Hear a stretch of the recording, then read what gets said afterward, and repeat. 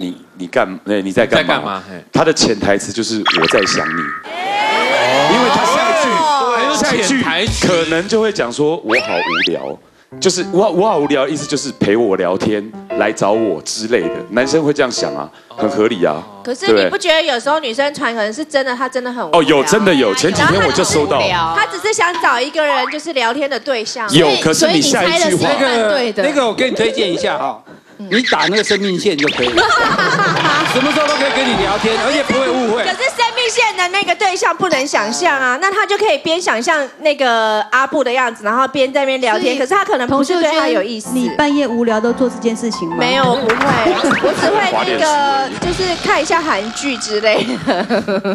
不是我说我我意思是说，女生你在传这个的时候，其实你的意图要明确一点，不然男生一定会误会。要怎样明确？比如说我前几天半夜嘿一点的时候收到一个讯息，是也是传来你在干嘛？哦，但是这个人我不会误会，因为我说我在家，怎么西瓜了？不是 啊，李严谨。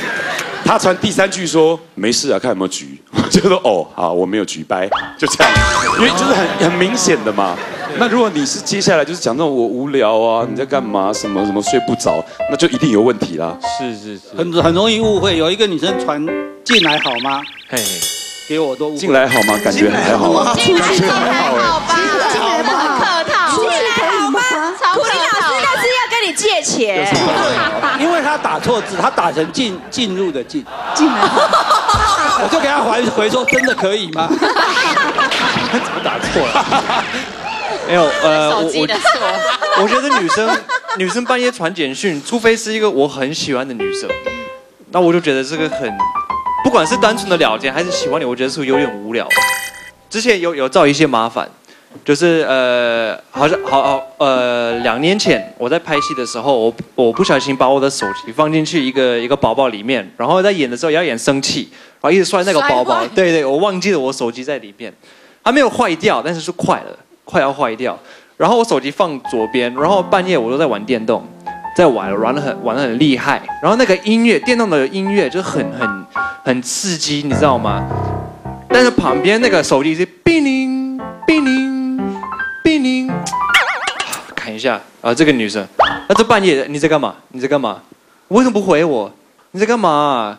所以我就关机，呃，没有关机，我爸呃放震动，好继续玩。半夜的时候，它一直震动，一直震动，一直震动，到我桌子的旁边掉了，砰，坏掉了。你看你们女生多无聊啊！讲了这一场半，自己手转过去，你转过去，我让你转过去，过去，转过去，透了你，手机很贵嘛，转过去，不好意思，不好意思。讲一个没有，讲一个没有。麻烦你明天坐坐飞机回厦门吗？拜托你。不要了，讲一个没有意义的故事。真的，我想要请问女生们，你有没有过一个情况，是你主动给电话、主动聊天，结果男生会错意了，觉得你喜欢他？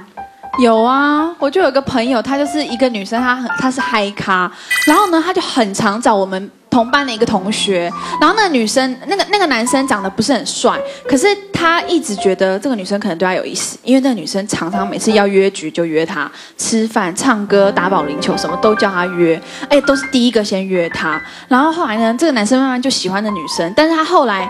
就是有透过朋友稍微的想把心意透露给女生，只要试试看女生到底对他什么感觉。可女生就大傻眼说：“他怎么会喜欢我？怎么会这样子？”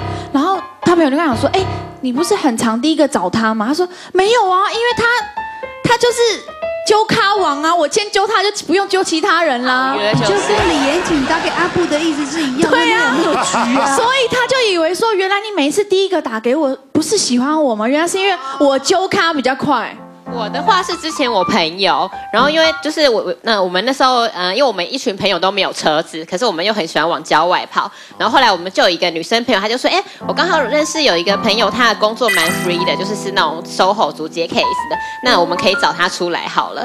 然后我们他就那我们那朋友就打电话约那男生出来，然后约出来，然后就发现哦，他他真的蛮好约的，而且时间又很 free，所以我们后来只要想要去一些什么阳明山呐、北海岸的时候，我们就都打电话给他。就他后来就会就是怀疑说，他就开始觉得那个朋友应该暗恋他，可是其实我们都知道，我们只是去擦司机而已。对，就跟我那故事一样啊。是，我觉得你们女生这样真的很过分。你知道男生会那么常愿意跟你们一起出去，带你们出去，其实他对你们之之中某一个人是有意思的。应该所以你懂我的故事了吧？对，可是为什么你们却要真的就是就这样一直约他，一直约他？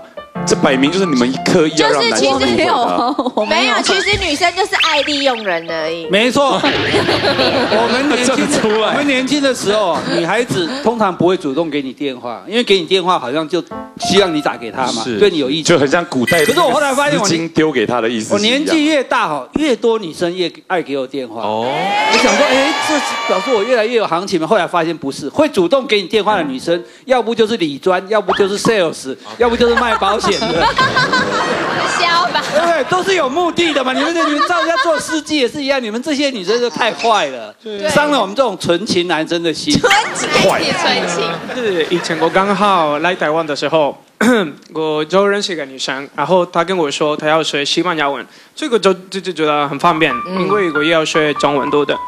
那所以我问她，你可不可以给我你的电话号码？然后我们每个礼拜一次、两次，我们做那个语言交换。嗯，然后他就很开心，然后给我，然后从第一天开始，他穿的非常漂亮的衣服，我觉得有一点呃夸张，你知道吧？因为我们是在一个咖啡店而已，但是他有搞贴呃鞋子，然后呢化很多妆，很夸张。